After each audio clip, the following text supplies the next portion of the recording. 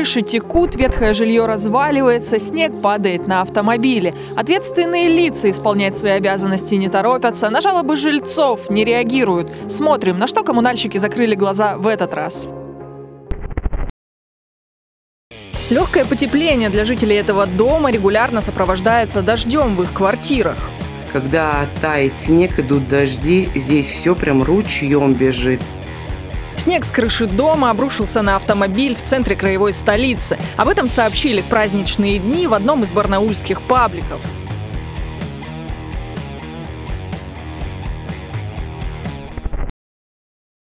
С наступлением оттепели в некоторых домах возникает извечная проблема – протекающая крыша. Так и дом 56 на улице Попова не стал исключением. Жильцы девятого этажа, вооружившись тазиками, всеми силами сражаются с потопами.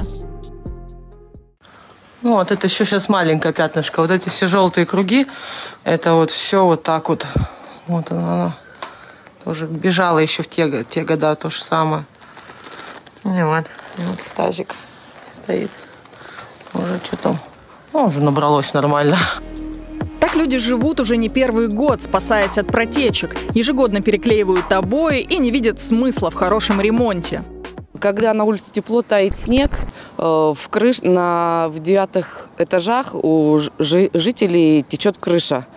Там и плесень, и тазики люди подставляют. Даже по, в тамбуре бежит, по счетчикам э, бежит вода. Электрики приходят, говорят, ну а мы что сделаем? Э, ДЭС приходит, там что-то латает, а толку вообще никакого. Это на протяжении да, лет 10 уже. Жители девятиэтажки переживают. В подъезде может произойти замыкание или возгорание проводки. Она, видишь, в основном вот в этом углу. Вот в этом здесь, углу. И в коридоре. И по коридору, там, в тамбуре. А жильцы этой квартиры, счастливые обладатели натяжного потолка, нашли своеобразный выход. Сделали отверстие в полотне для слива воды. Конкретно обращалась квартира номер 143. 23 числа в аварийно-диспетчерскую службу. Выходной день был.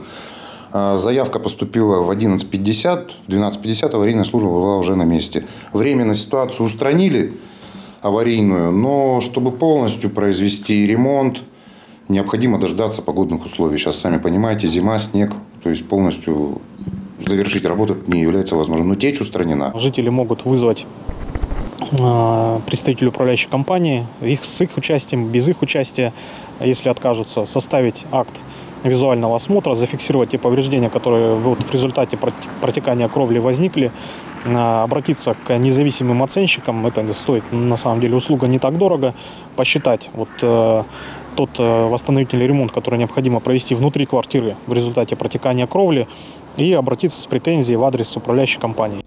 Если УК в течение 10 дней денежные средства не перечислит, потребитель имеет право обратиться в суд. Также хотелось бы отметить, что собственникам в прошлом году было предложено провести собрание и проголосовать по поводу ремонта кровли за счет средств капитального ремонта.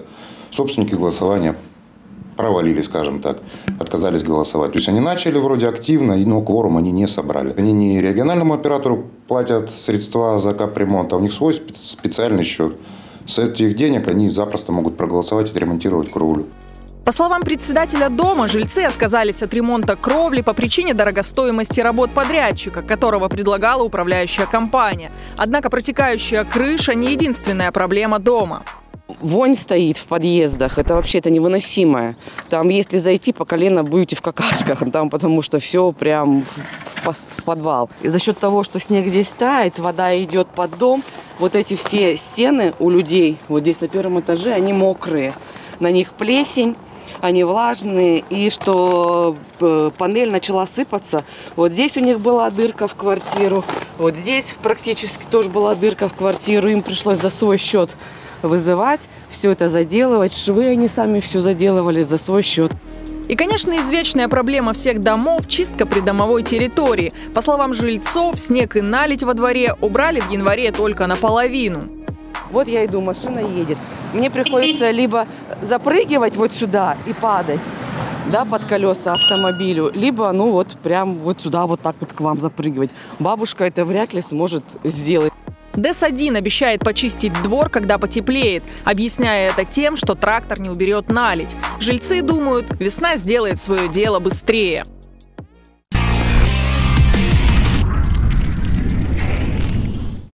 Вот такой подарок к празднику свалился с крыши дома владельцу этого автомобиля. Хорошо, что не прямо на голову. В момент инцидента в машине никого не было.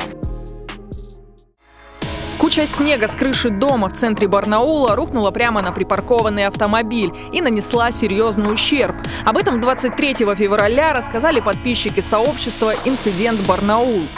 Э, не талый снег, это чистили снег сбросили. Потому Вы что так- уверены, там- Так а так далеко. Талый снег, он так далеко не упадет.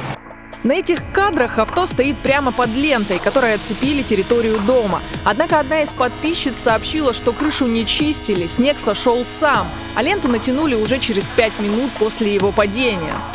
Он ставил автомобиль, ленточки не было, ну тогда, значит, он вправе претендовать на стопроцентное возмещение. Если все-таки мы видим о том, что э, он поставил автомобиль, э, управляющая компания потом натянула, ну да, то есть как бы понимаем, как себя повела управляющая компания. Если же он поставил под ленточку и видел, что она там натянута и делал это целенаправленно, ну здесь у него большой риск э, получить либо неполное, либо вообще, может быть, даже отказано в возмещении убытков. Зачастую в судебном порядке ответственность может быть разделена 50 на 50, подчеркивает эксперт, и советует найти свидетелей, а лучше записи с камер видеонаблюдения. Кстати, снег также повредил козырек одного из магазинов.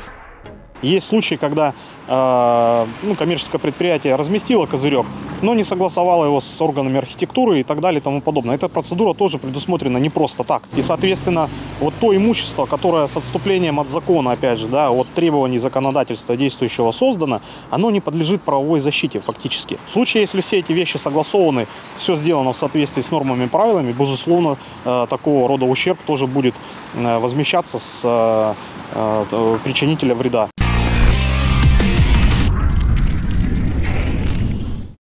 На этом все. Напоминаю, если у вас есть коммунальная проблема, звоните в редакцию телеканала «Толк», пишите нам в социальных сетях или оставляйте заявку на сайте. Это был «Коммунальный патруль». До встречи.